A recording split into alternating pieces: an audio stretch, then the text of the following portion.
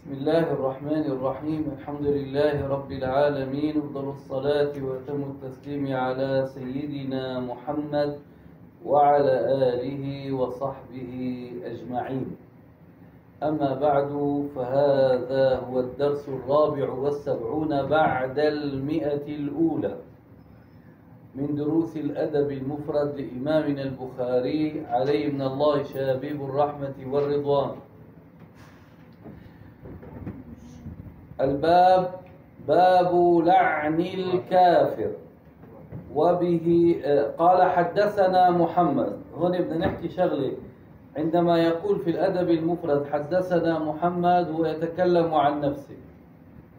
فاللي بده يقرأ السند بده يقول وبه إليه قال حدثنا عبد الله بن محمد. يعني هناك خمسون موضعا ابتدأ فيها البخاري بنفسه. محمد ابن إسماعيل البخاري. فهو في الأصل يروي عمن روى عنه هو يقول به حدثنا فلان. لكن هناك خمسون موضعا في هذا الكتاب يقول فيها البخاري حدثنا محمد يقصد نفسه.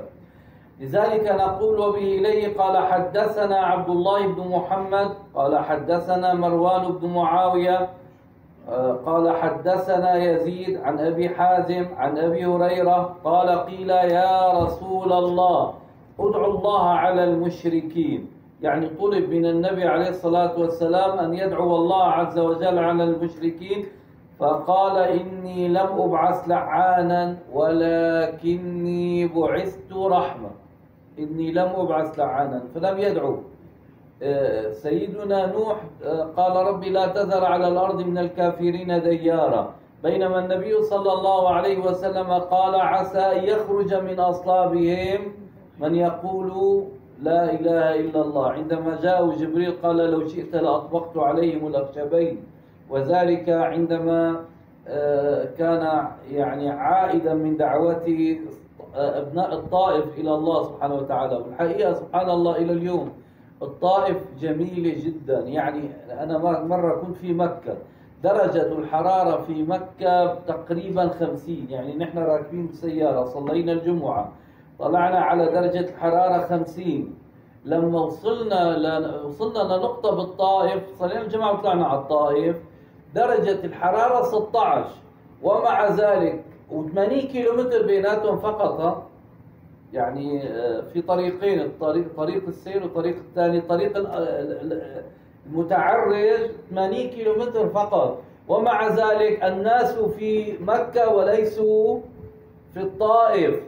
انتبهنا. سبحان الله الباب الذي يليه قال باب النمام. أيضا يقول حدثنا محمد. لذلك نقول وبه إليه قال حدثنا أبو نعم. أيضا هنا لابد من التصويب. الصواب أبو نعيم. قال حدثنا سفيان عن منصور عن إبراهيم عن همام. كنا مع حذيفة فقيل له إن رجلا يرفع الحديث إلى عثمان. فقال حذيفة سمعت النبي صلى الله عليه وسلم يقول صلى على النبي لا يدخل الجنة قتات يعني لا يدخل الجنة نمام. من النمام؟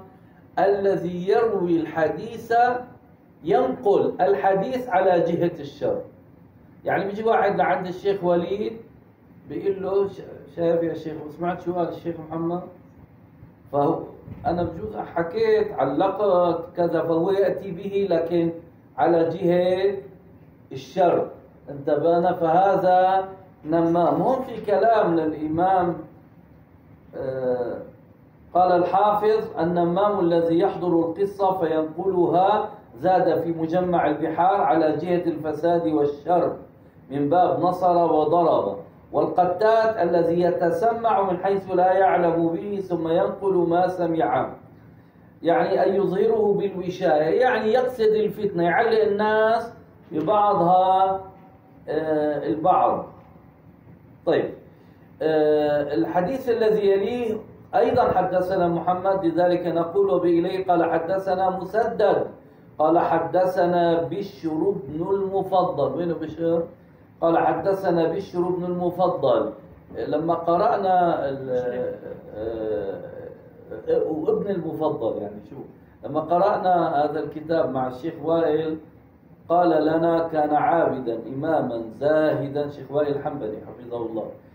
كان عابدا إماما زاهدا له قصص عجيبة في العبادة. طيب إذا وبه إليه قال حدثنا مسدد قال حدثنا بشر بن المفضل قال حدثنا عبد الله بن عثمان بن خسيم عن شاهر بن حوشب عن أسماء بنت يزيد.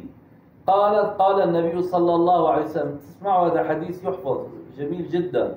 ألا أخبركم بخياركم؟ إلكم مين أحسن الناس فيكم؟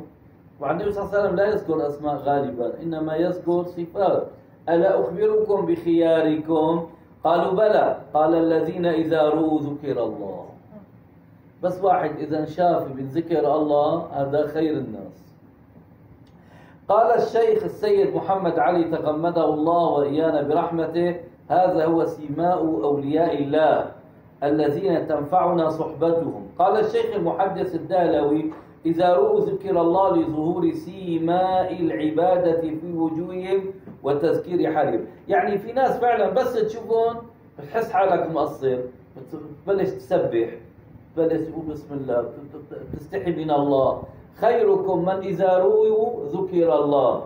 وأيضا لأن حالهم يذكر بالعبادة حالهم يذكر بالله حالهم يذكر بالخشية من الله سبحانه وتعالى.